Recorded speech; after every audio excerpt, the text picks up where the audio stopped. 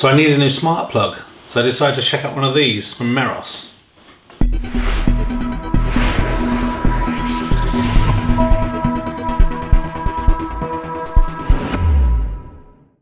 So first of all, a big thank you to everyone who watches the videos and has at some point purchased something from Amazon through to one of the links. I was able to buy this Meross smart Wi-Fi plug with some of the Amazon vouchers that was generated for you guys using the links. So thanks very much.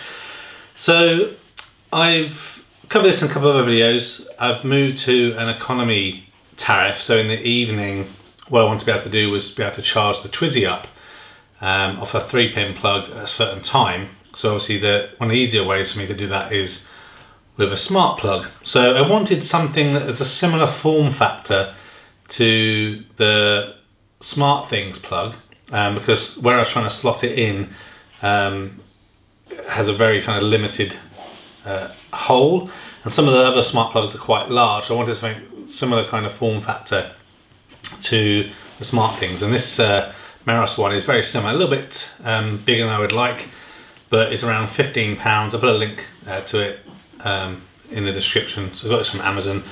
Thought I'd share it with you. because It seems to work really well. So in terms of um, packaging, very simple, brown box, part numbers on the side. There is a quick installation QR link on the back.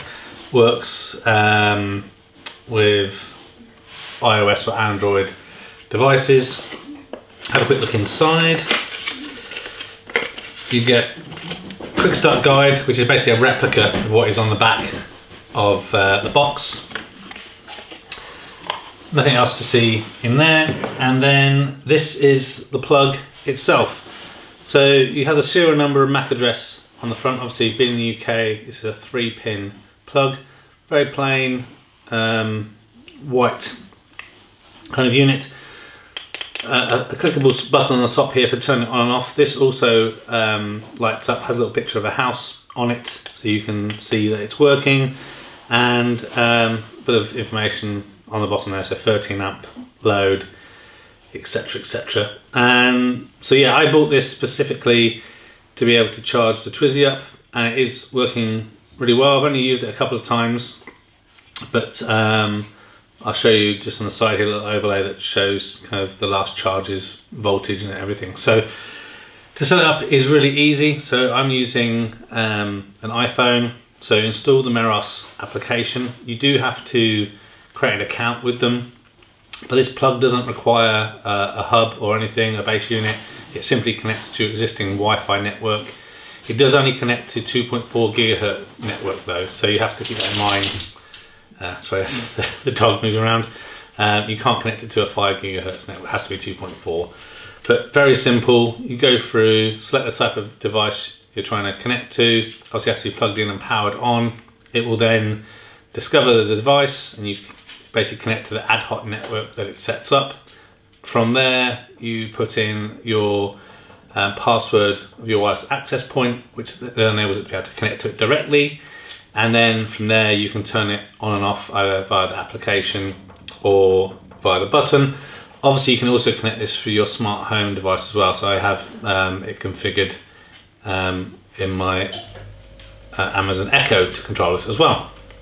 In here, you've got the option of setting up certain scenes, so certain activities will happen will change uh, whether this comes on or off. Um, but I've just set this up on the time basis, so you have to have um, a timer to set it on and a timer to turn it off. So I just have it to come on a couple of hours uh, overnight uh, around 1 a.m. because my off-peak tariff is between 12.30 and 4.30. It will charge the Twizy for a certain period of time and then turn off and like I said it is quite handy that you can check the statistics to show that it has been doing and how much power has been put in there. So something like the Twizy that doesn't have a very informative instrument cluster just shows you the percentage.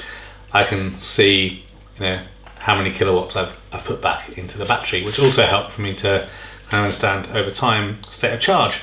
So yeah if you're looking for a smart plug something that's reasonably priced so this is like 15 pounds compared to like 50 pounds of the, the Smart Things one.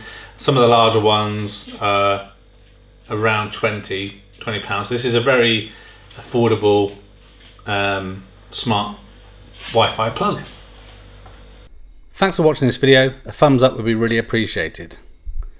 If you're interested in other geek type videos, please consider subscribing to Spectrum Geeks. Why not also follow us on Facebook, Instagram, and Twitter?